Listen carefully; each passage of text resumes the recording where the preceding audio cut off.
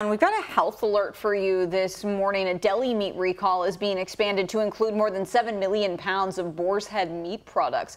All are being linked to a deadly listeria outbreak. The U.S. Department of Agriculture says more than 30 people have gotten sick, two have died.